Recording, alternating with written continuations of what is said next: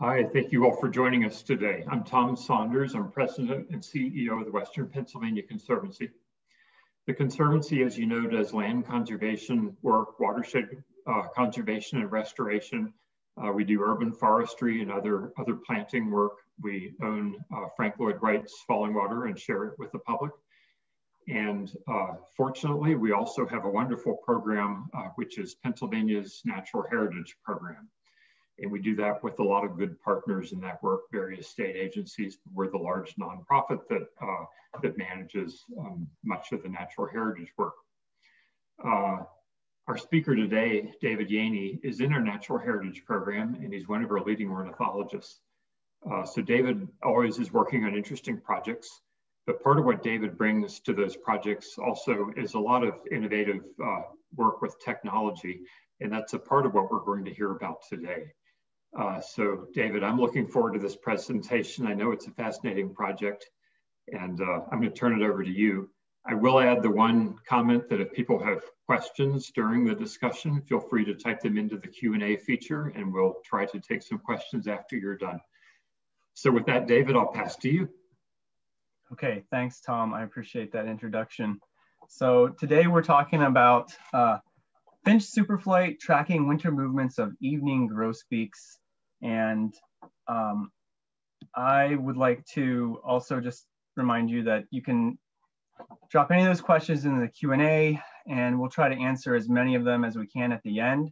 I'll try to leave enough time there to, to field as, as many of those questions as possible. So as Tom said, the Western Pennsylvania Conservancy is a diver diverse organization. We have a lot of different programs, um, and we're a nonprofit that was established in 1932 and the first land trust in Pennsylvania, protecting over 260,000 acres. Um, as you said, I'm in the Pennsylvania Natural Heritage Program, and the Natural Heritage Program is this partnership between the Conservancy, the Game Commission, the Department of Conservation and Natural Resources, Fish and Boat Commission, um, and is a member program of NatureServe. And our job is to really gather and provide information on the location and the status of rare plants, animals, and natural communities. And the purposes of that is to inform environmental decisions and conservation uh, decisions as well. So today's project is, is also a, collab a collaboration um, that uh, I, I have to give a huge thanks to the partners involved in this specific uh, work, which obviously it's a natural heritage program project, but we're also working closely with Carnegie Museum of Natural History and specifically the Powdermill Avian Research Center.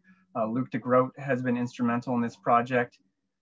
Also the Finch Research Network, uh, recently founded by Matt Young, and um, we've had some small funding from the Nuttall Ornithological Club. This project also falls under the umbrella of the Allegheny Bird Conservation Alliance, which is more of a Western Pennsylvania regional coalition of conservation groups focused on matters related to birds um, and their conservation. So now let's start talking about finches and this super flight and what is all this, and then we'll get into the specifics of the project with Evening Grosbeaks. So at the base level, we're talking about uh, a finch eruption. And this might be new to a lot of people, but uh, an eruption is when we have species that migrate in large numbers out of their typical range due to some uh, lack of a resource. So for birds, we typically talk about birds that are in the boreal range. So that's, think of northern uh, forests of Canada or the Arctic, and they're moving south in large numbers due to poor food availability. And in the east, we have um, eight different finches, uh, which are listed on this figure here. Uh, and we'll get into them a little bit more detail in a moment. But the important things to notice here is that these finches feed on specific seed crops from, from trees. We can talk about the cone crops from our, our conifers, our pines, our spruces, the fir trees, talk about deciduous tree seeds like those on birches or maples, and then fruits that are produced from um, shrubs such as mountain ash and other, other trees that are, that are fruit bearing. And so they're linked to the specific production cycles of these food, food um, items. And when they crash or boom, uh, it affects the populations. And so, and so uh, you can see specifically for evening grosbeak, there's also a tie to the spruce budworm, which is a native moth species um, that affects the, the balsam fir and spruce forests in the, the boreal range in Canada and drives that population as well. We'll get into some more details of that, but this is really to show you there's a, a huge link between this movement of birds and, and their food sources from tree seeds. Now in 1999, Ron Pittaway began what's known as the, the winter finch forecast. And he really looked at the production of these tree seed crops and was able to develop a way to essentially project whether or not there would be an eruption of finches from the boreal into southern states, into the, the northeast or even farther south. And that's become a really um, valuable tool in, um, in terms of, of expecting whether or not we'll see any of these birds within Pennsylvania. And birders uh, throughout the US and Canada often look forward to this. Now it's recently been taken over by the Finch Research Network and Tyler Hoar is heading up that, that project now. Now, in terms of a finch superflight, that is when we have all eight of these eastern finch species erupting within the same winter season. And this is a pretty special event that, that occurs not very frequently. And it's only been uh, well documented in the last 25 years, th three times as occurring, and maybe in the last 50 years, five to six times max. So this is a, uh, a unique event that happens. And it's when we see food, food shortages in a number of these uh, tree crops, and then we end up having a large flight of, of each of these birds, or maybe large flights for some of the species, but certainly all species are on the move. So let's take a look at these players in this super flight. Uh, so who are some of these boreal finches? First, we'll start off with, with the redpolls. You have the, the hoary redpoll here, uh, which is more Arctic, it's far, farther north. Um, and then you have the common redpoll. Both are very similar. The taxonomy is a little bit um, in question between these two, whether or not they're one species or two, but right now we recognize them still as two species. And this winter, we've seen the largest redpoll eruption in over a decade. Large numbers moving south of, of, of these species, um, and even into Pennsylvania, large numbers. Also, we have um, that these redpolls typically undergo a two-year cycle. They key in on uh, the seeds of birches, alders, willows, and then at your feeder, they're gonna love the, the Niger thistle seeds. Uh, we also had a huge eruption this year of pine siskin, which is a bird, uh, a finch species that breeds in Pennsylvania, but is also a species of special concern uh, as, a, as a breeding species. But we had a huge eruption of this species out of the boreal too, with uh, thousands being counted at hawk watch locations in the east. Um, they typically feed on grasses and forb seeds and eastern hemlock. Next, we have our crossbills. And there's two crossbill species that, that we see in this eruption, uh, the white-winged crossbill and the red crossbill. These are really unique birds in that their bills, the mandibles, are actually crossed. And they're designed to help them pry open the conifer cones and extract seeds from those. Now the white-winged crossbill typically key in on spruce, fir, tamarack, and hemlock cones, while the red crossbill um, will key in on a variety of pines depending on the geography. And an important point about the red crossbill is that it's a really highly diverse group with um, what used to be what 10 call types, 10 distinct flight call types that um, researchers have identified to specific geographies and that the birds respond to those specific call types. Recently, one of those was elevated to uh, full species, the Cassia crossbill, but now we have nine distinct call types within red crossbill. Next, we have the purple finch and the pine grosbeak. The pine grosbeak is our most northern of the eruptive finches, which means it rarely ever comes south of, of New York. We've had not many records in Pennsylvania over the years and none this year, but, um, but they are being seen in good numbers just north of us into New York. The species likes a variety of seeds and fruits like birches, birch catkins, apples, crab apples. And the purple finch is um, a, a, species that looks maybe similar to one that you might see really commonly, the house finch, but there's a few uh, characteristics that help differentiate them um, with this kind of raspberry coloration going into the back and, and the wings and uh, lack of, of darker streaking on the flanks here. Um, but this is a bird that actually breeds in Pennsylvania, but also erupts from the boreal. And they typically like to eat the, the buds and seeds of elms, tulip trees, maples, and um, will also feed on the uh, sunflower seeds at your bird feeder. And now we have the, the species that'll be the focus of this, the rest of this talk, which is the evening grosbeak. And um, here we have, uh, I wanted you to really get a good up close look at what the male and females look like. Um, when we see these birds, there's uh, basically from an, a field observer, you're, you're only gonna be able to say it's a female or a male. Um, all the juveniles can't be identified unless you have a bird in your hand and can look at molt limits. So this year we're seeing the largest eruption of evening grosbeaks in over 20 years, a massive movement out of the boreal forest. Um, and uh, we can talk a little bit more why in, in a moment.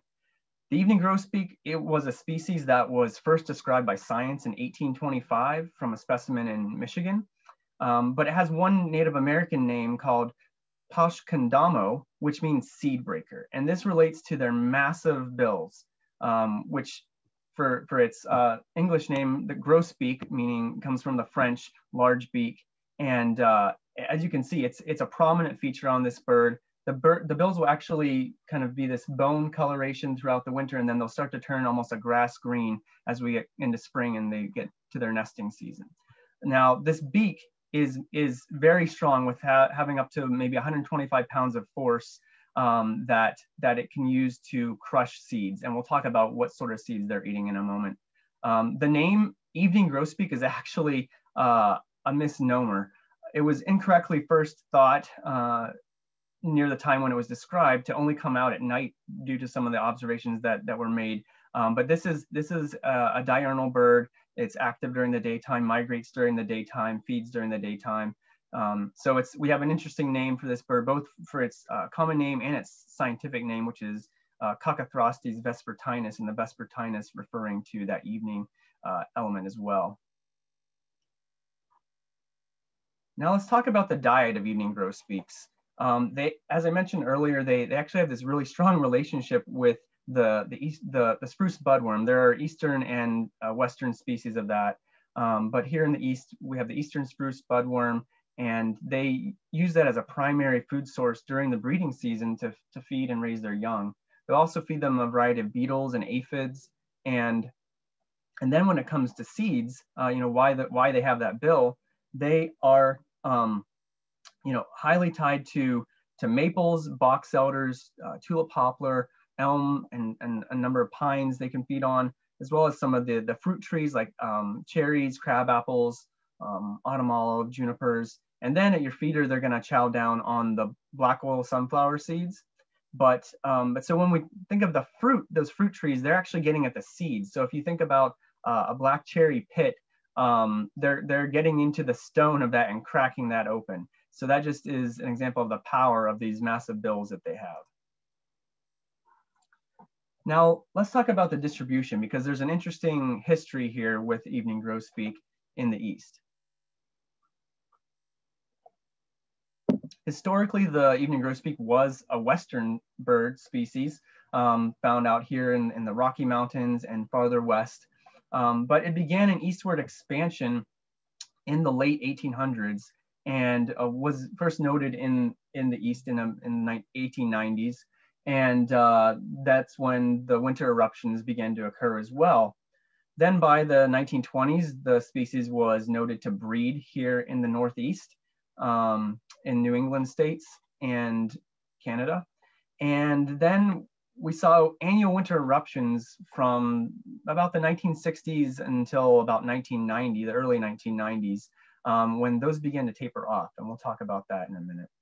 Um, part of the reason for this eastward expansion, uh, reasons that are hypothesized, are the plantings of box elder trees, um, which they have the same type of uh, samara seeds that uh, ma our maple trees have. It's it's it is a, tree that's in the maple family, and um, and the spruce budworm outbreaks and their population fluctuations. So it's believed that perhaps there was this uh, quote unquote baited highway of plantations of box elder moving from the west to the east and allowed the species to expand, but also these spruce budworm outbreaks that perhaps the species was taking advantage of those. We don't know for sure, and there's, there's research trying to figure that out. Something else that's interesting about the grosbeaks is that they also have some distinct call types, and there are five recognized subspecies that, that kind of correlate with the call types. Um, it's not exactly linked um, yet, but there's research being done to further understand these. And so these have uh, call types that, that can be recognized individually and have unique spatial distributions. And so in the East, we have what's known as type three, and that's the nominate uh, species, subspecies, Coccothraustes vespertinus vespertinus. And that's, that's the, the species that we see here in Pennsylvania, or the, sorry, the call type that we see here in Pennsylvania. Um, though there's a lot of research being done this winter by the um, Finch Research Network to request recordings of these uh, grosbeaks uh, to determine if there are any new call types showing up in, in new places, and, and there have been, especially in the West. Now, what does that sound like and how, how do they actually tell these call types apart? Um, so here's some grosbeak calls um, and other, some of their, their flight calls and some of the other calls that they make uh, at the, our research site in Pennsylvania. But I also have the five call types shown here by their spectrograms, which is essentially the, the signature that the sound makes. And I want you to just notice that they, they each are unique, so they can be identified to that call type by an audio recording. Um, now let's talk about grosbeaks in Pennsylvania. So they were basically regular winter, um, a regular wintering species um, through the first part of the last century and then really up until 1990s um, when we began to see a, a, decline. And in 1994, they were actually first, con first confirmed breeding at several locations in Wyoming County out in eastern Pennsylvania, northeastern Pennsylvania. And, um, and then we have some, some banding data that, uh, that ties to Powdermill Avian Research Center, um, showing us kind of where these birds were moving during the times that they were able to band them. So this is um, data from the Powdermill Avian Research Center for evening grosbeaks that were banned, banded at their banding station out in Westmoreland County. And so we have points here that um, that show where these birds were essentially recaught or um, observed in some other way. So these they're called banding returns. And, and so uh, you can see quite the distribution throughout the Northeast and even in the South when there were other eruptions. But if you look at the colors, as you go from red to light yellow, and you can see the numbers. So this is the number of birds that that they had banding returns for, you know, 40 in the 1960s, 42 in the 70s, 17 in the 80s, and only two in the 1990s did they get banding returns for, showing a pattern that is even more evident uh, when, when we start to look at the grosbeak declines. Um, and so uh, here's that same powder mill data that has been put into a graph form and showing from, from the early 1960s all the way up into today, just how the number of grosbeaks that they caught during the winter and banded at the banding station has, has plummeted. And so you can see it's only nine during the 2000s have been banded there versus a high of, of over 4,000 during the 1970s. So this also goes along with uh, a recent paper, 2019 study that was published.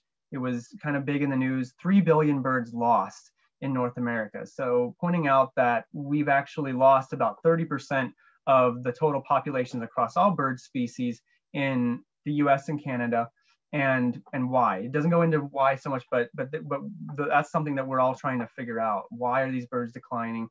For boreal forest birds and evening grosbeak in particular, it was the steep, the most steeply declining land bird with a 92% decline across its total population and, and a similar decline in just the Canadian eastern boreal forest. And that's uh, just since 1970. So we're talking about a 50 year period.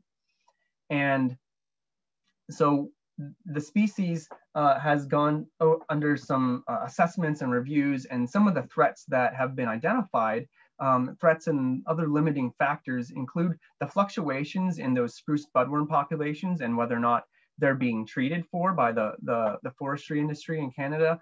Um, also, the, the window and vehicle collisions. These birds can sometimes get, get uh, uh, killed in, in kind of mass by vehicles on the roads. They'll come down and they'll pick salt and grit off the road uh, to help with their digestion. Um, but also the loss of mature forests. They, they breed in, in mature balsam fir and spruce woodlands and forests in the Canadian boreal. And uh, the loss of that habitat is suspected as a, an, a potential cause. And then also climate change and just how that might impact some of those northern forests and their conifer, um, you know, conifer composition.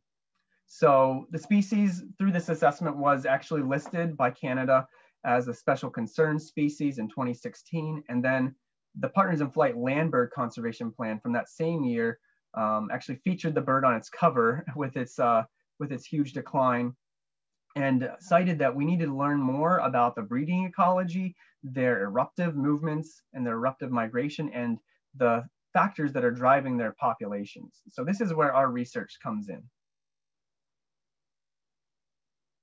So here's a look at, we're gonna start to focus in on our research site, which is in Forest County, Pennsylvania. And it really began in 2007. Um, so this is, this is actually the site where I grew up. And in 2007, uh, I had a "If you build it, they will come" moment for any of those of you who might be familiar with the Field of Dreams movie.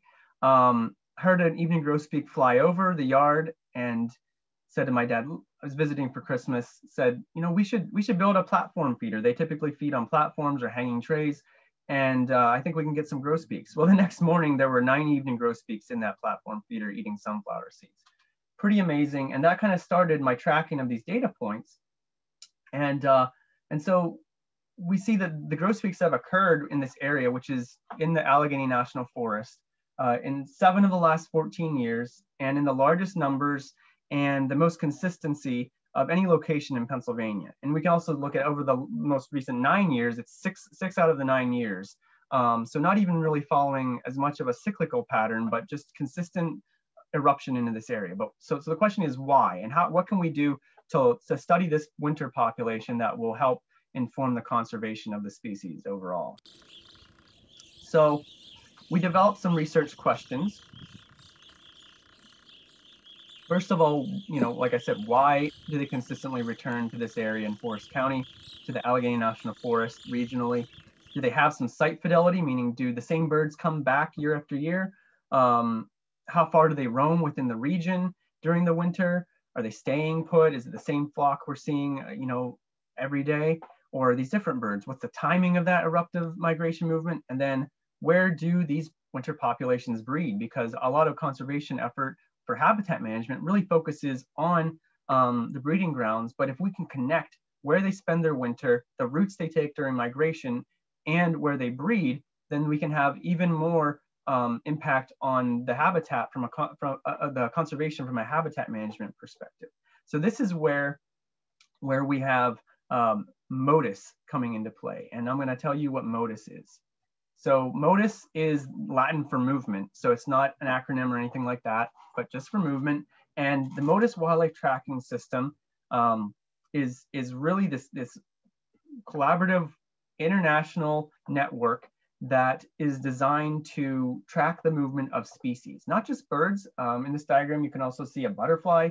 Uh, there are dragonflies that are tracked this way. And so what it is, is we have these tiny radio transmitters that weigh fractions of a gram up to a couple grams that can now be fastened to small songbirds. And, and then these, um, these tags, nano tags that are putting out the, the radio signals can be detected by antenna that are at a tracking station. So we have a network being established of these, these tracking stations, the receiver stations that can hear that radio signal that's unique to that particular tag on that particular bird. And when the bird flies past it within about 15 kilometers, um, then you are going to get a detection, hopefully, um, if everything, if all the technology is working properly. So you can get detections across the network passively um, in a way that we've never been able to, to do this before. And so you can look at habitat use throughout the annual life cycle uh, of, of, bird species. You can look at migration corridors. Um, for ecology, ecological studies, we can look at post-breeding movements, migration stopover use, um, winter habitat use, winter movements, um, timing and energetics. A lot of things can be answered using this. So it's it's actually an, an uh, building off of an old telemetry technology, adapted in a new way into these tiny transmitters that you know the, the weight of the the mass of the transmitter matters a lot in terms of what you can do with it because these birds are very lightweight um, and they can't hold a lot of weight. But at, at, with this advancement in technology, we can do a lot of very um, interesting new things. So here's a look at what the kind of northeast network of active Motus receiver stations is as of this past week. And so each yellow point represents an antenna station that can detect Motus tags. And then the, the, um, the bubbles around it are basically their in pro projected antenna um, ranges and directions. So um, the, the, uh, the network has really been uh, built up over the last few years with a lot of work from Powdermill Avian Research Center and the Willistown Conservation Trust and the, their development of the Northeast Motus collaboration. So we've got a large number of detection stations within Pennsylvania. Uh, recently, there have been stations added to New York to catch birds flying um, basically in this northeast to, to um, southwest direction. Um, and then there are a lot around the lakes and, and into Canada more as well. And so for our specific study here for evening grosbeaks, we had um, placement of towers that would help us capture regional movements. And here's an example of our um, colleagues out at Powder Powdermill and putting up a pop-out a pop-up tower. Sometimes these are located on fire towers. There's a couple in the Allegheny National Forest that are on fire towers. And, and so here's the, the research site um, in Marienville. And we've got five of these um, Motus receiver stations across the region so that we could detect any movement throughout the forest. You can see that the dark green here, the, the half a million acres of Allegheny National Forest where these birds might be moving around. And so here's a look at, at the, uh, the research site, um, the research station with the pandemic, we have challenges. And so this work is all done outside um, the whole time. And we're, we're taking all the precautions that are necessary for, for keeping it safe.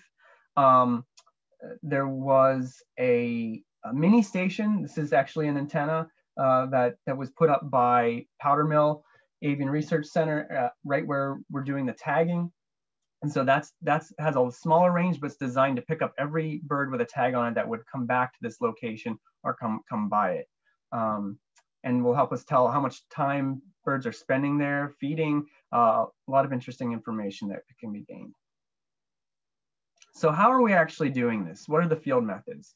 So um, we've got a couple of different techniques for trapping using this bow net, which you can see here. That's, that works a lot like a, uh, a targeted mist net. Um, and then Potter cage traps, we do color banding for each individual so that um, in addition to the unique USGS metal leg band, we put a, a, color combination on those birds so they can be identified by, by field observers. And, um, and then the tagging, we're using uh, a couple different types of tags, which I'll show you in a, in a few minutes, but uh, nano tags and life tags using this leg loop harness. And I'll just want to point out that we do all this work with approved federal and state permits.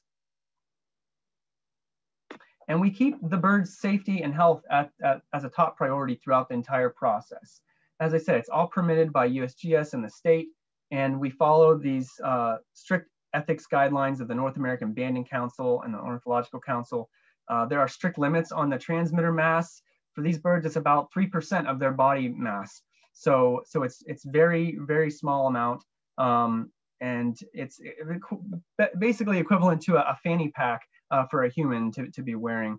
And uh, certainly throughout all, we, we just try to balance the conservation benefits of the tagging with any potential cost to, to individual birds. So what does this look like? Um, here's some photos showing the process of color banding. Um, and so you can see I'm putting a, a black plastic band on this, this bird's leg. Um, and then you can see another bird with a unique color combo um, with orange over yellow and nothing over the metal band. And so uh, by referring to the right or left leg of the bird, observers are able to identify individuals and report those back to us so we get even more detections of birds moving throughout the landscape. So the tagging, um, in this photo on the, the left here, you can see I'm, I'm putting on the leg loop harness on this female evening grosbeak, and then you've got two, two birds here. I'll, uh, I'll bring up the next photo. So here's three, the three different tags that we're, we're putting out. Um, the tags are sized according to the bird size. As I said, we, we are very careful about not putting something too heavy on these birds because they need to be able to fly strongly. And, uh, and so we've got the Lotek powered nano tag that has, that has a finite battery life. Uh, for these birds, they're they're fairly large, so they could hold they they actually can hold one of the larger size um, nano tags with with batteries, and these would last you know more than a year, maybe up to two years. Um, now, but now we have even just with this year, we have basically the first deployments of some of these solar nano tags. Um, actually, I think this bird right here was one of the very first ones that had this transmitter put on it. You can see there's the solar panels that it will you know absorb energy from from the sun. And then it these Lotek solar nanotags have an onboard battery to store that. So we've also got the CTT LifeTag which is another solar powered tag as well. Um, here's just a look at a couple birds that we tagged after they were released. Um, just kind of show what, what it would look like to an observer if you saw one of these birds after the fact or at your feeder um, there is an antenna that extends down. It's, it's essentially like a thin whisker uh, that, that just hangs down, you know, behind the, the actual transmitter. And that transmitter sits basically, you know, on the lower back above the rump. So what are the results? So we've, we've been doing this study since uh, the winter of 2017. And so this is, uh, this was, um, as of this week, um, we we actually uh, are the first and only project tracking evening grosbeaks with transmitters. And we've banded almost 90 birds and deployed um, around 50 tags. Actually, th those numbers I, I just realized weren't exactly correct, but we've, we've got uh, 52 tagged birds at this point with a few more that were tagged this week and, uh, and color banded as well. So our goal, you know, we have, we have goals to put out more tags so that we can learn more about these species as uh, the species as they travel this winter and beyond. So we have some resighting results as well, which include those birds that are observed by birders at their bird feeders and reported back to us. So seven observers from six locations have reported 36 project birds. And that's, that's basically just from that 2018-19 season. And uh, I wanted to feature some of their photos here. Um, from another location in Marienville, there's actually one two birds that you can see color bands, a little green color band there and the antenna, thin, thin, thin antenna hanging down, and then a little blue color band on that bird. Uh, this bird, you can't see the color bands, but you can see the antenna from, from also another place in Forest County. And then this, this was the big one, uh, a report from, from Saguenay, Quebec uh, of a bird that was tagged at a feeder um, in June. And so that's gonna, uh, that's gonna come back up here in a moment when I show you some of the tracking results. Um, so, so we had um, a number of detection locations, which included both the Motus stations as well as the, um, the, the observer locations, people's feeders. And so uh, within, within the Allegheny National Forest region, we had 10 locations, which included half of those being Motus and half of those being resighting locations. So you can see the, they're spread across. So, so birds were detected on all of those towers that, that were put up to, to detect them. Now looking at large scale detections, the number of locations where grosbeaks were detected um, doubled. So we had 20 detection locations and half of those were, were in Canada. So that's, that's really, really valuable information that's gonna show us a lot more about these irruptive movements and, and help us understand the paths that they're taking and where they're ending up for breeding. So in terms of the number of birds that we had detected, and I'll just, I should say that this is all preliminary because we're still in the middle of the study, but these are some of the results off of primarily that 2018-19 season where we deployed 18 nanotags. So we had, but we had 35 evening grosbeaks because there were a number of birds that were color banded but not not nanotagged. Uh, 35 evening grosbeaks were detected, and we had 10 of those grosbeaks tagged uh, via Motus that were detected. And what we saw, and I've kind of exploded these points because they were all on top of each other otherwise, to show you that there's just, there's a large number of, of movements within the Allegheny National Forest, meaning that the birds are, are moving around, uh, probably finding different feeding stations, different uh, tree seed crops that, that they can eat. And so a lot of, uh, you know, within the region, lo localized movements. And so speaking of those local movements, um, I want to take a look at four, four specific um, tagged birds that, that we had that showed us um, both local movements as well as large scale movements. So we had uh, these three birds, 517, 360, 6, and uh, 357. And so they were all tagged here at Marienville, but detected across the five stations and, uh, and an observer location in, in the Allegheny National Forest.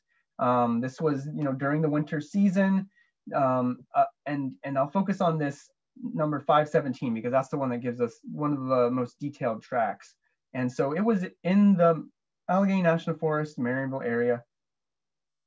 From, from the 2nd of March to being detected, it was actually tagged in late February until the 11th of May. And so once we expand this out, we see this this on the 11th of May, it decided it's it's time to go back to the breeding grounds. So so essentially, we we, we suspect it went around Lake Erie. Uh, just wasn't there weren't towers maybe to detect it, um, but probably around Lake Erie, around Lake Ontario, and made it up to this location in Canada in Ontario um, by by May 12th, and then um, by um, May 26th made it up to, to this location in Quebec. And so what we can also see is for these three other birds, which we didn't have, and maybe is because uh, they didn't fly where they could be detected, or maybe there weren't Motus stations to detect them. Um, but three, the three other birds also ended up in the Saguenay, uh, Quebec area by early June. And so we have these, these four birds in, in a relatively close area of, of um, you know, Quebec near the Saguenay, Saguenay um, Quebec uh, region. And and so it's starting to show us a little bit about you know where our our winter populations connected to. And we're looking forward to more data coming in from birds that have been tagged this year. But also interestingly enough is that um, and this is from from Tyler Hoar at the uh, finch research network spruce budworm outbreaks uh, occurring right right within that area where these birds are heading to so again tying together in a spatial way a link to to where there's a specific outbreak of the spruce budworm. And this is information that we hope you know, we can provide for uh, conservation measures. So some of our early conclusions. As I said, we're beginning to see this link between the Western Pennsylvania winter grosbeak populations to this Saguenay, Quebec region. And that'll be interesting to look at in more detail as we collect more data and seeing the importance of the spruce budworm play out in our tracking uh, uh, results so far with active outbreaks that um, that may be influencing the, the birds that we're seeing here in, in the Allegheny National Forest.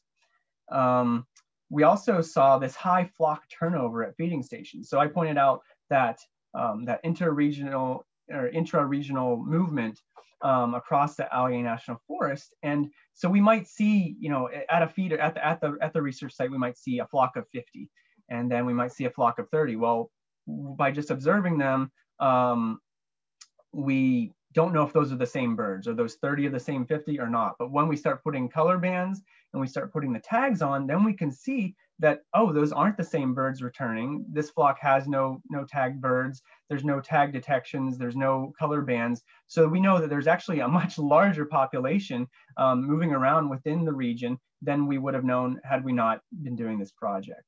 Um, we're also beginning to look a little bit at the, the timing of the migration to their, you know, back to their breeding grounds, look, looking this March to May area um, timeframe, which which is, is in line with kind of some other studies that, that have been done.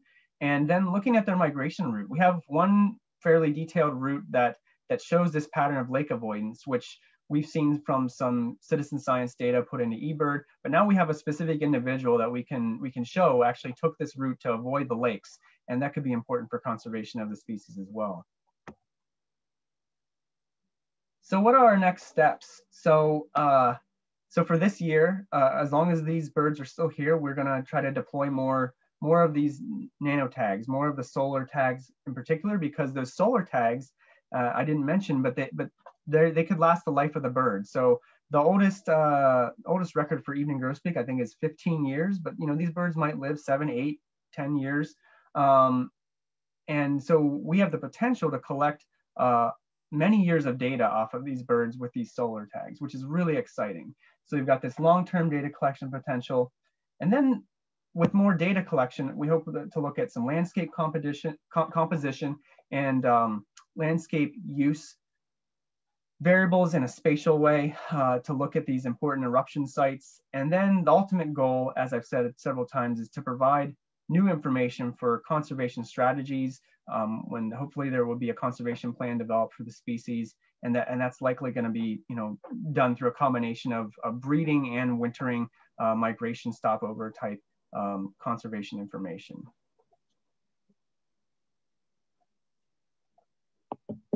So uh, with all of that, I I want to just kind of thank everyone for for attending today. And you might be wondering, how can you help? Um, how could you get involved with this project? Um, so first of all, we, we say thank you to our, our WPC members for your support and, um, and your support of our organization and this, this work that we're doing to conserve habitats and species. And if you're not a member, we encourage you, uh, you know, you can go to waterlandlife.org and you can join online if you'd like to support this work or more work like it. Um, also, if you're, you're a bird enthusiast, which I, I guess you might be because you're listening to this, um, look for evening grosbeaks at your feeders this winter. And if you happen to see a bird with, with tags or color bands, please take a photo, uh, write down some notes and, and email it to us. We'd, we'd really love to have that information as well. Um, beyond that, we also have a Grosbeaks in Motion shirt sale that we've been running for a couple months now. Um, we have this wonderful design by Code 5 Design that um, uh, we put on some t-shirts and hoodies. And the, shirt sales are going directly to help this project to, to buy more nano tags to help us uh, you know with some of the costs of this research. And you can you can buy those at the website as well waterlandlife.org um, slash buy grosbeak shirts. And so with that uh, i will take any questions David, thank you for the great presentation. That was really interesting. And I'll introduce Nicole Walsh, who is also with us and who is going to organize and, um, and uh, sort of MC some questions and answers. I saw we had some great questions. Yeah, we have a, a lot of questions. So if um, okay. we don't get through all of them, uh, we will attempt to answer through email, or you can always um, send an email to David and he can get Absolutely. back to you. Yep. Okay, so um, one of the, the biggest questions or the most frequently asked was about the transmitters. And um, there was concern about uh, do they break off? Do they get tangled up in trees and shrubs? Um, do they increase any vulnerability uh, to predation? And also, um, does it interfere with mating? Right. Yeah, that's all, a lot, a lot of points there. Um, so the best way to answer this. So so like I said, we we definitely balance the cost of eh, the potential cost because I'll say there there haven't been a lot of studies that actually show that there are um, huge negative impacts, um, but there have been some studies that show some negative impacts to to birds with transmitters. But we weigh the cost of that to an individual versus the knowledge to be gained for the conservation of the species and um, furthermore, it's information that you know can't be collected through citizen science efforts alone. We can't know these specific migration routes or even if it's the same birds occupying an area. So the value to conserve a species that's declined its total population by over 90% by understanding how individuals move is, is very high. Um, so the, the transmitters, like I said, they're about 3% of the body mass. And so uh, literally for, for, from a person of my size, that's, that's essentially like a less than a, less than five pounds in a fanny pack to carry around. It's not that it's nothing, but the birds, uh, you know, they, they fly strong. Um, any bird that would show a sign of it's not handling the transmitter or that it, you know, because they're wild animals, so they can individuals and different species can respond in different ways. Uh, that transmitter doesn't get deployed on that bird. So we take the bird's health very seriously. And like I said, we follow very strict guidelines. Um, there's, uh, you know, some species specific information that's been shown more in uh, larger birds, water birds, um, passerines not as much on in terms of the, uh, the impacts, but uh, but yeah, it's, it's a lot of it's species specific and, and nobody's done it yet on these birds. And we, are getting a lot of tracking information back just from the small number of birds we've deployed. So, so that's a really good sign that the birds are doing well with the transmitters. Okay, have these Motus studies been expanded to species other than the evening grosbeak? Yes, oh yeah, yeah. Um, excuse me, there, there have been, you know, there's been I don't know the exact number of, of nanotags that have been deployed, but it's it's thousands and hundreds of bird species probably. Um, and uh, and so yeah, a lot of it's focused on migration stopover. Uh, there's some breeding habitat um, studies being done as well. We, we actually have another project looking at Swainson thrush breeding habitat that we've we've done in the Natural Heritage Program. So there's yeah there's a, a diversity of, of species that uh, that this has been done with. But but ours is the only project that's working with evening grosbeaks, which is pretty interesting because it's a species that's declined so much, and usually there's a lot of focused attention on on uh, species that decline uh, significantly like that. Uh, what's the average lifespan of the grosbeaks? Is that known? Oh yeah, the, I wish I had that off the top of my head. I'll have to get back to you on on the the average. But like I said, the the maximum that that I've read in the literature is is 15 years. I, I would imagine it's a bit, quite a bit less than that for the average, but I can answer that in email if you want to email me. Okay. Um, has there been a decline across all the types of the grosbeak populations or more so with types one through three in the boreal? Right, so the declines aren't exactly tied to the types as far as what I've seen, but, um, but yeah, there have been declines across um, all the regions that Partners in Flight has, has looked at um, with with varying degrees, but but the uh, the Canadian Eastern Boreal Zone has been you know one of the highest at like 92%, matching the overall decline. Um, the solar tags, how long do they last? I think you covered that. Yeah, the life of the bird. So as, as long as the, the tag stays functional um, and the tag isn't destroyed or damaged and the bird is alive and moving, and it's getting sunlight and at least at some portion, it's going to be able to to um, you know transmit data to those receiver stations. Um, is there a site in Erie County, or was the dot in Crawford or Warren County? Do you recall? Uh, dot for for which for the? Um, I'm not sure if it was one of the the sightings or not. It's um, not specified. Yeah, so we didn't have any, this is the, um, a map with, with uh, the tracking locations, uh, sorry, the detection locations as the circles and then these four tracks. Um, you know, we didn't have any sites that were in uh, Erie or Crawford for this project. Um, what is the correlation between the budworm outbreak and winter eruptions? Did the birds do really well during the breeding season, but not during the fall and winter? Yeah, that, that's a great question. Right. So so for this year in particular, because we're seeing, like I said, numbers in more than 20 years that we haven't seen this far south. Um, grosbeaks have, have even reached down into Florida and Georgia, which is really far south. And a lot of the thinking is because of um, three, three substantial spruce budworm outbreaks in Eastern Canada that were not treated due to the pandemic. Um, so they were not treated with pesticides. Um, the spruce budworm is a native species, but it can be very damaging for the, uh, the timber uh, tree species that, that we'd be harvesting. And so areas were either not treated or not treated as much. And so it's suspected that they had a really big boom uh, population this, this summer. Uh, combined with the, the, the, shortage of their tree seeds, um, which kind of made this perfect uh, storm for them to, to erupt south in the huge numbers we see. Okay. Uh, we have time for a couple more questions. Um, have you had any birds show up further south this year? We've had up to 100 at our feeders in Garrett County, but haven't looked them up closely enough to see the color bands or antenna. So no, I, I really don't, yeah, I don't have a lot of information right now on the birds that we've, we've tagged um, this winter other than a few local observers.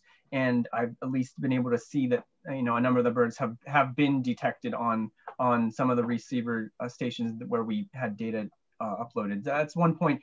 The Motus data has to kind of be manually pulled for most of these receiver stations. They're remote, so it's it's like on an SD card, and you have to upload it to the site. And there are um, people throughout the network that are taking care of each individual station. Um, so yeah, it could be possible that you could see some. I mean, we don't. Not a lot has been studied about their these irruptive movements, so that's why we're doing this because we just we just don't know if they might just stay regionally and kind of move around within the region, or do some of these birds kind of then pop out and, and move farther. Um, is there any correlation between the initial logging of old growth boreal forests and species decline? Oh, that's a good question. I, I don't know. I mean, I know that it's more so that, that you know, the species evening grosbeaks nest in, in mature or second growth uh, boreal forest and, and woodlands. So I, I, that's, that's a good question. That's probably something that should be looked at. Um, this came up a couple times. What's the difference between a finch and a grosbeak? Okay. And are the other winter finches declining in numbers as high as the grosbeaks? Okay, so a couple parts there. So, so all of the birds that we talked about today, those eight species, they're all within the finch family. Um, so they're all in this in the same taxonomic family. Um, some of them have grosbeak names, but they're also finches. That, but yeah, so so yes, a grosbeak is a finch, but it's it's uh, you know a different species than the purple finch, you know, than those other eight species, uh, those other seven species. And the other part was, are they declining? Are the other species declining as as much? And that's the answer is no, they're not. No, the grosbeak is is uh, declining in in uh, kind of some unparalleled numbers. Uh, is there a website where the Motus data are posted and available for the general public. Yeah, absolutely. Uh, motus.org. Yep, nice can, and simple. yep, yep. You can you can view those uh, receiver stations. You can click on them, get some information. You can even uh, some of the tracks of the birds are publicly viewable um, that you can see, and you know uh, more information is available with uh with credentials. But uh, yeah, there's certainly a lot that you can see just at the public view. You mentioned the, the platform feeder. Um, what are the other ways to attract or help the birds on their migration? Yeah, yeah. So grosbeaks, um, they they will feed basically, uh, you know, because their their bills are huge, so they don't really like the tube feeders, you know, reaching into these slots on tubes. Uh, they don't really they don't eat the thistle seeds because their bills are too big. So they, they really key on black oil sunflower seeds, and you can even uh, the striped sun, sunflower seeds but in a hanging tray or a platform, a hopper style feeder, that's kind of the house house shaped feeders that some people have. Um, and then also on the ground they'll feed. So, so those are all the ways that you might be able to, uh, you know, get them to come to your feeding station. Um, there's a couple questions about lake avoidance. Um, what's the thought behind why they aren't crossing the Great Lakes? Yeah, that's that's interesting. I might have to get back to you a little bit more on that one. Um, but I, I all I know is that that there some species don't don't want to fly over large bodies of water because that's that's how they've evolved and so it might it might be something to do with that you know that it's a risk that they're not going to take so for them it's more um, advantageous to to circumnavigate those um, i'll look into that a little bit more if, if you want to give me an email on that one i'd be happy to to dig into that one more okay um, I think we should probably wrap it up. There, there's a, a, lot more questions I think we can probably get to uh, answering individually. Okay. But um, I wanted to thank everyone for attending today. Um, we do these uh, semi-annual uh, webinars. So keep an eye on our website um, for upcoming ones. And thank you very much, David. That was really interesting. Oh, my, my pleasure. I'm happy to talk about this. Thanks, everyone. Right. Thanks.